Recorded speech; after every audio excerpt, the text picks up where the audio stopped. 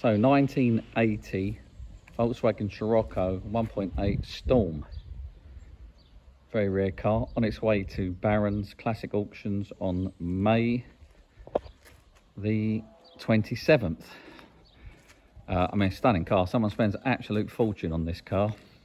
It's had new wings, all the wheels been refurbed. This looks like the engine's been out. New bits and pieces under the bonnet.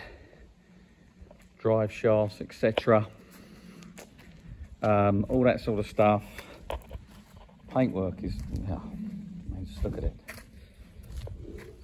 Very, very, very 80s colour. yeah, I mean, it's a stunner. Not many of these available. In fact, I can't actually find another one for sale at the moment. It's a Mark 1 Volkswagen Scirocco Storm. Uh, so there's leather seats, tinted glass, special colour, different alloys, little 80s pop-up roof, front spoiler, just a stunner.